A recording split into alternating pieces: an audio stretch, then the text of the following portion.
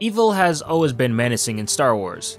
In the prequels, you had Count Dooku leading the Separatists, who had a cool and a collective but devious presence to him.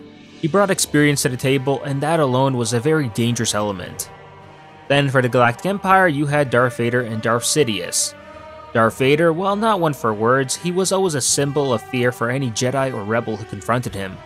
He was more machine than man, and his presence on any battlefield always meant doom for his opposition. His master and leader of the Galactic Empire, Darth Sidious, was no laughing matter either.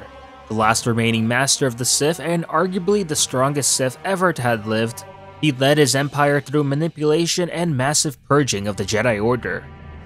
And then finally, the First Order, whom was led by Supreme Leader Snoke, a mysterious figure of darkness whom could pull off unimaginary feats of the Force due to his believed ancient origins.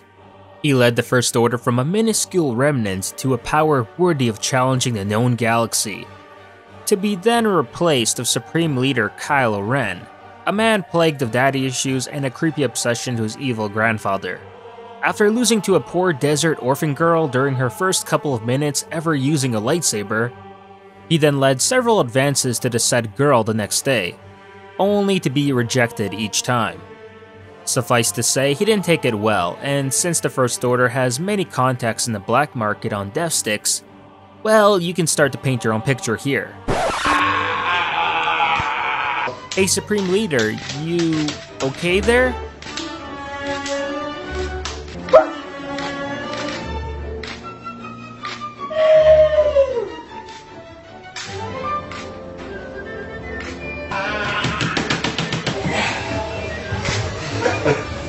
Kylo, how many death sticks did you take again?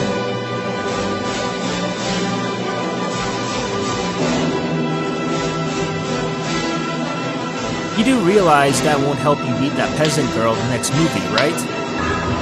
Ah, alright then, suit yourself. Meet your episode 9 villain, folks.